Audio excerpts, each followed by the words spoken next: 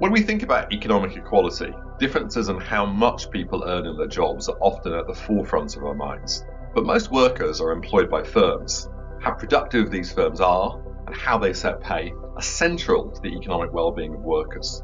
Similarly, differences across firms are likely to be key in explaining earnings differences across individuals, something that empirical research is increasingly starting to bear out. In our latest research, we study the role of firms in generating economic inequality in the UK and how this is changing. We find that inequality between firms has increased over the past quarter century in the UK. Companies are looking increasingly different along a number of dimensions, including the productivity levels, the wages, and the size. These changes have been accompanied by, and may well be closely related to, several concerning trends at the aggregate economy level, namely declining productivity growth, stagnating real wages, declining business dynamism, and a falling share of our national income that's going to labour rather than the owners of capital. Firms in the UK vary greatly in their size. Just 0.1% of businesses, that's one in a thousand businesses, employ at least 250 people. But in 2019, these 8,000 companies accounted for almost 40% of jobs. That's 11 million employees and half of all turnover, totaling almost 2 trillion pounds. These big firms tend to be more productive than small firms and to pay their workers a lot more.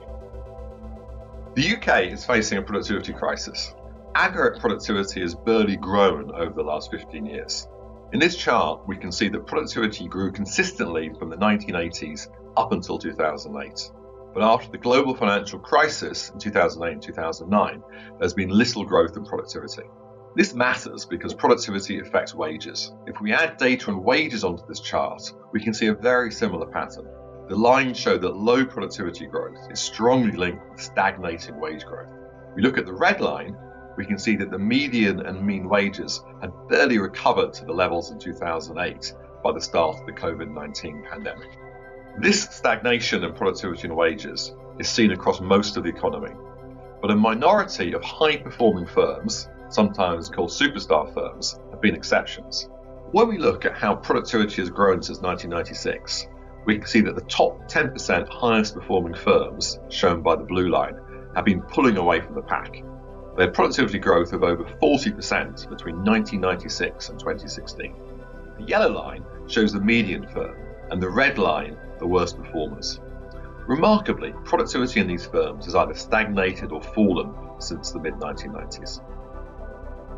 While inequality between firms is not necessarily a problem per se, it is concerning if large numbers of workers are in poorly performing, less productive firms and not sharing in improvements in living standards. If the performance of the average firm had kept up with the best, this would help raise overall productivity, pay, and living standards. GDP per hour worked grew by about 2.3% per year between 1981 and 2007, just before the financial crisis, compared with only 0.2% between 2007 and 2019. Other problems can also arise when there is significant inequality between firms. Over recent decades, as inequality between firms has risen, industries have tended to become more concentrated, with a larger share of output being produced by the largest firms.